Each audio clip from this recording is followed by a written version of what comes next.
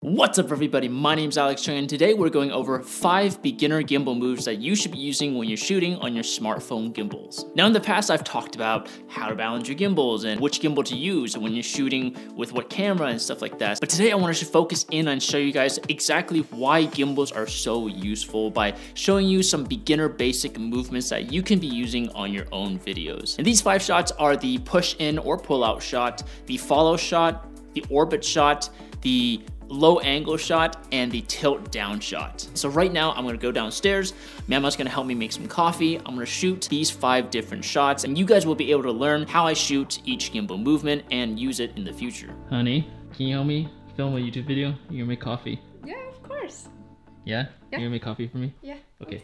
Okay, so we're down here in a kitchen right now. We're gonna turn on the coffee machine over there. Memo's over there getting ready. I've got the lighting set up ready and everything. So I'm gonna set up the Zhiyun Smooth Q2 and then we're gonna show you guys some behind and I'm gonna show you some behind the scenes of these gimbal movements. So the first gimbal movement that we are doing right now is gonna be the push in or push out shot. This one's very easy. All you're doing is simply just pushing into your subject or pulling out away from your subject.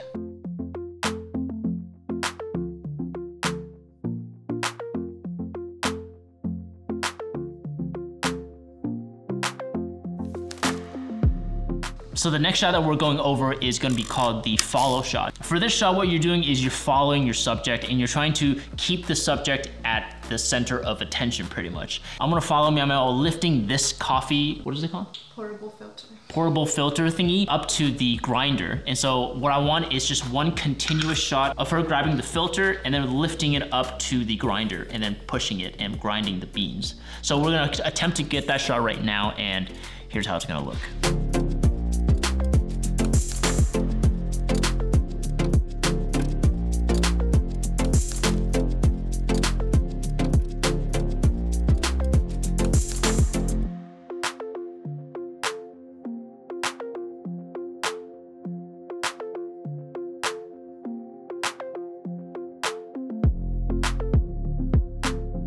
Okay, so the next shot that we're gonna be going over is the orbit shot. And this one, what you're doing is you're circling or doing a half circle around your object or subject. And for me, the orbit shot is one of the easiest ways where you can get that really cinematic look because your background's moving. There's a ton of movement that you can create in this one simple shot.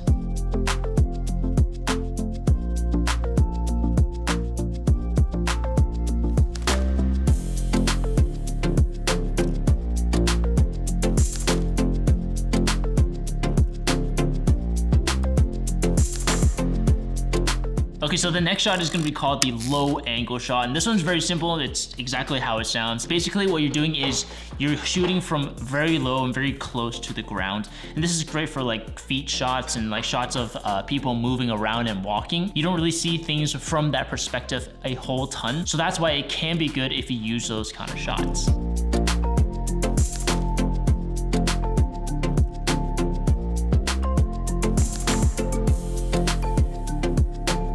And the last shot that we're going over is the tilt down shot. So basically how you wanna start is you want your phone facing down uh, in a bird's eye view so you kind of see the top down of things. And what you're gonna do is you're gonna come down as you're tilting the gimbal up. And so what that does is it really maximizes the amount of movement that you get in your shot. And this kind of shot definitely does take some time to practice and sort of get right. But once you perfect that movement, it looks really, really good in camera. Now that we know what each shot looks like, let's put them all together with some dope music and a little bit of sound design.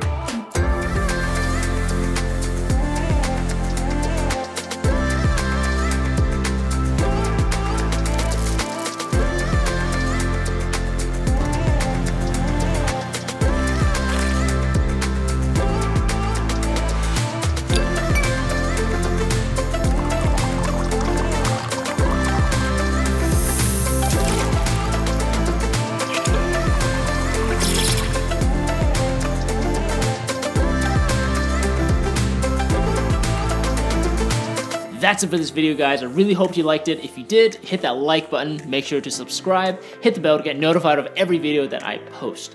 My name is Alex Cheung, and I'll see you later. Bye.